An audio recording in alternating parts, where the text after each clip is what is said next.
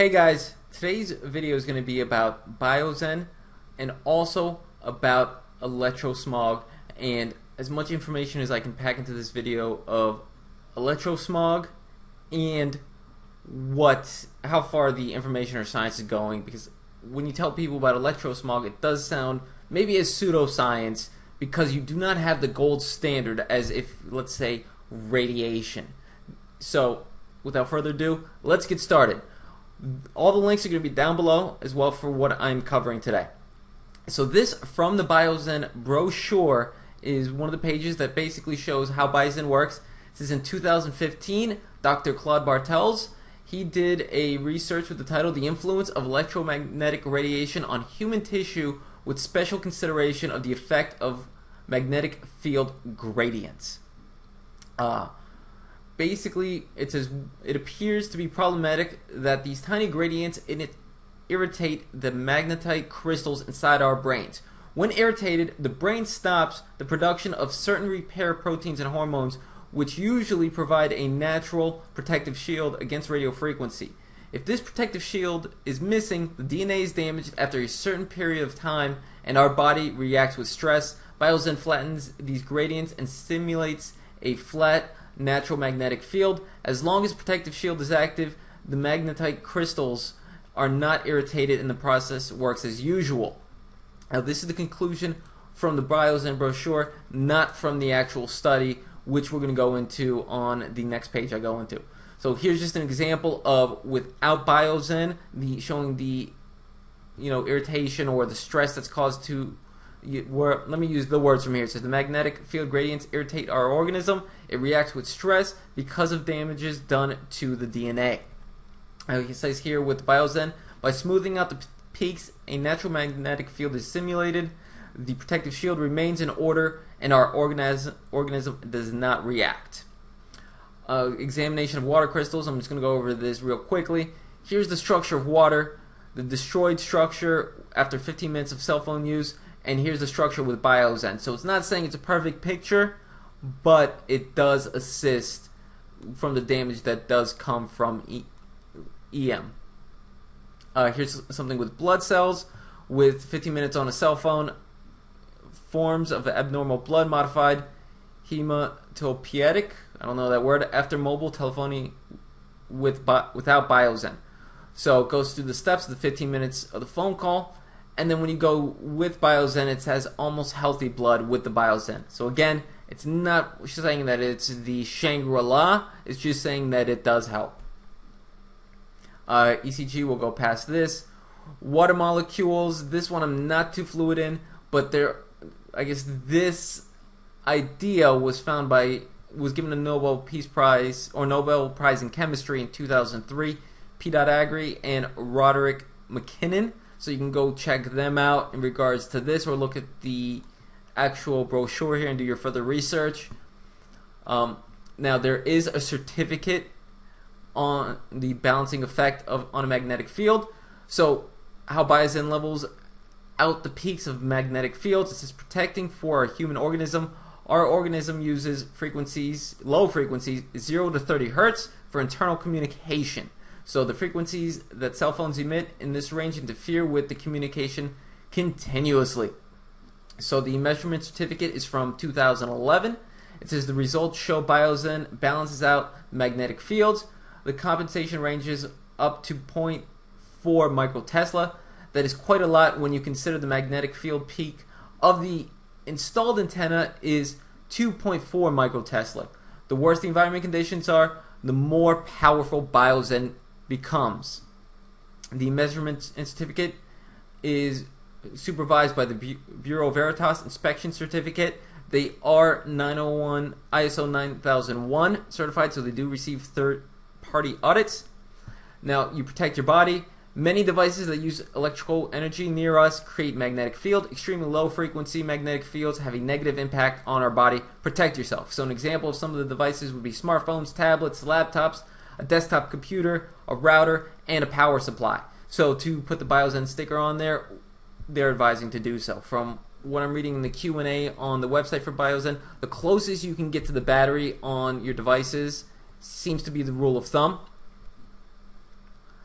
Now, here covers more of the certification and some of the scientifically verified information. So, again, the Bureau Ver- Veritas certificate is ISO 9001. It says risks by e-smog. Medicine and science show that radiation from cell phones facilitates and triggers the following harmful effects: headaches, a warm sensation behind the ears, restlessness, sleep disturbances, irritated eyes, clouding of the eyes lens, cataracts, difficulty concentrating, learning problems, and memory impairment. Now, Biozen says it protects the human organism 24/7 for all your electronically powered devices, no matter how or why you use the device. Now, the scientifically verified information that Biozen protects you against mobile radiation scientifically and medically proven.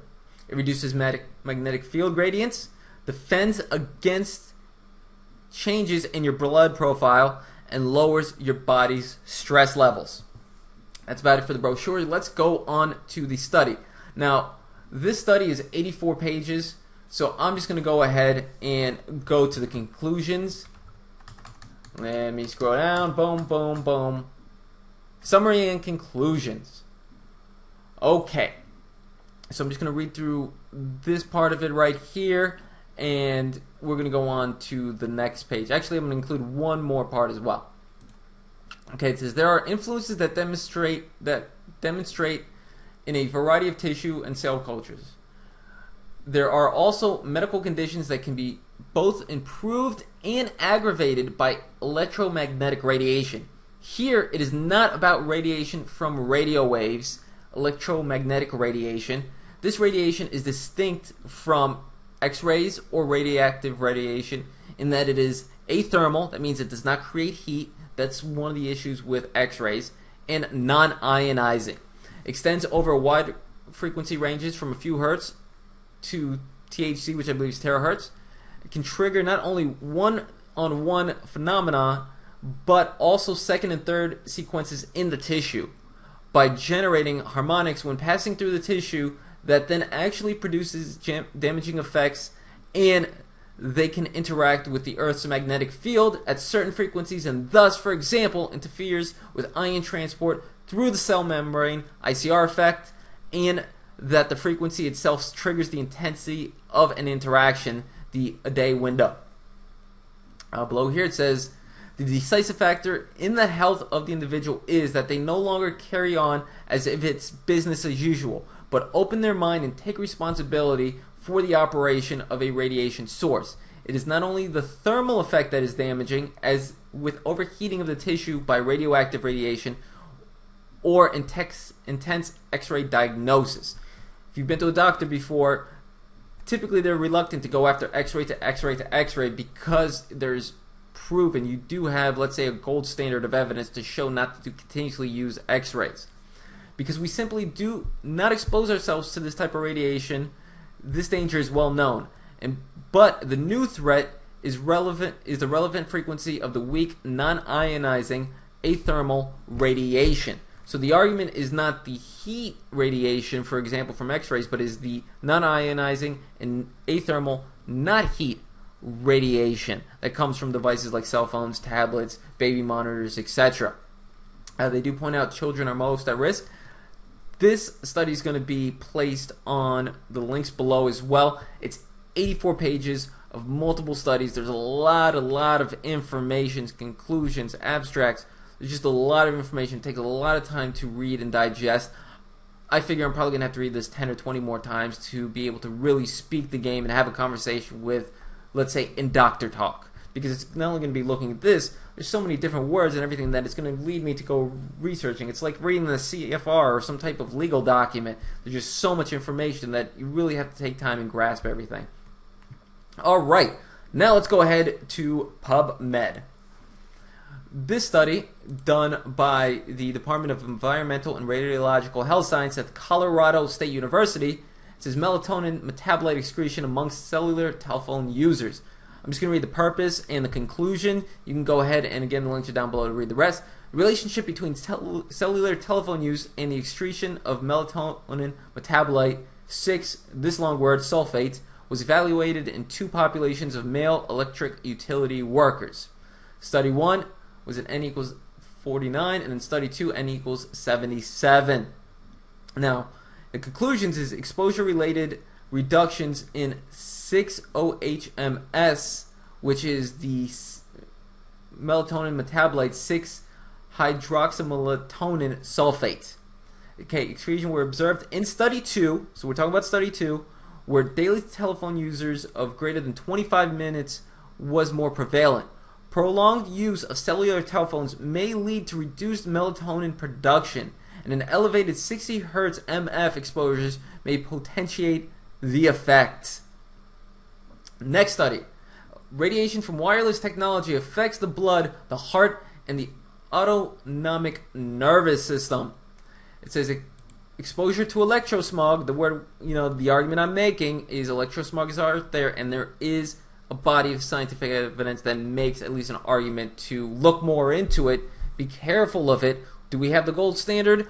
I'm not saying that, and it does not look like we have the gold standard. I have, from my hours and days upon research so far, I've not found something where I can sit there and say, beyond a reasonable doubt, we have causation, we have the gold standard, all that stuff. All I'm saying is there's a body of evidence to say that this is not pseudoscience, and it at least warrants more information. And maybe you should be proactive and myself be proactive ahead of this because it is a science that is just very hard to get the gold standard for. Okay, so generated by electric, electronic, and wireless technology is accelerating to the point that a portion of the population is experiencing adverse reactions when they are exposed.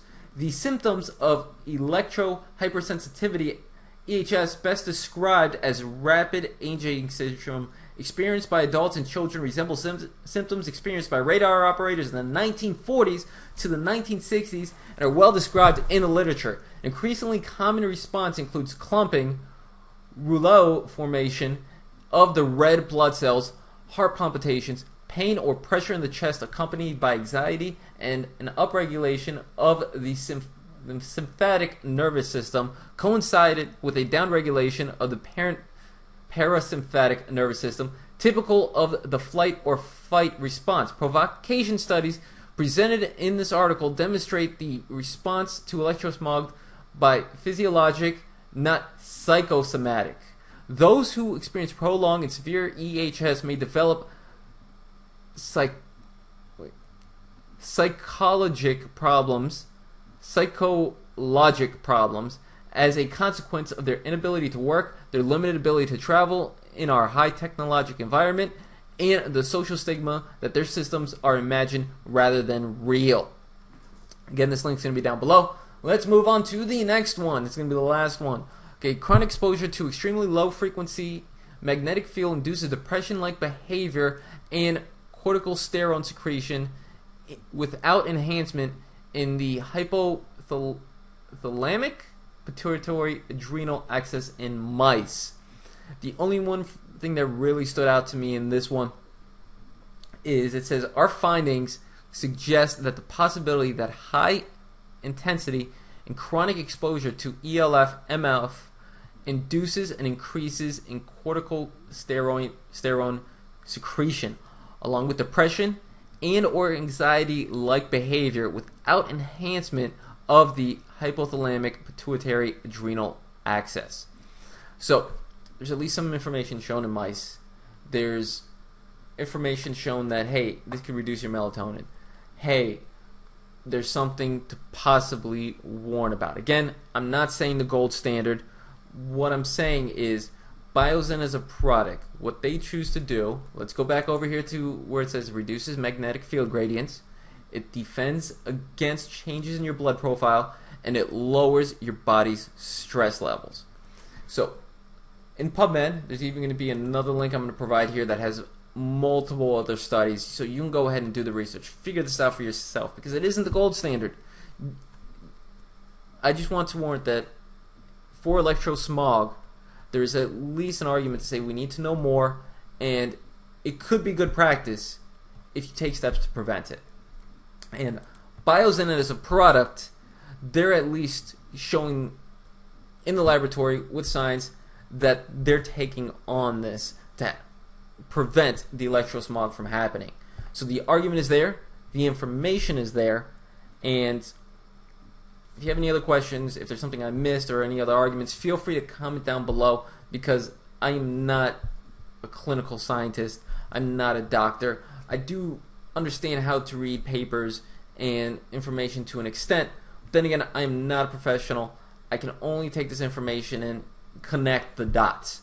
So feel free to comment below, ask any questions, mark anything I missed, and if you know you want to know information or you want to find about WorldGN or more about Biozen as a product, my link is going to be down below for my website We can go ahead and fill out the form. I'll go ahead and contact you, get you all the information that I can. And if you're looking to buy Biozen, that link is going to be down below. If you're looking to reserve your spot on my team, the Legacy team, that link is going to be down below as well. Beyond that, like, subscribe, have yourself a great day.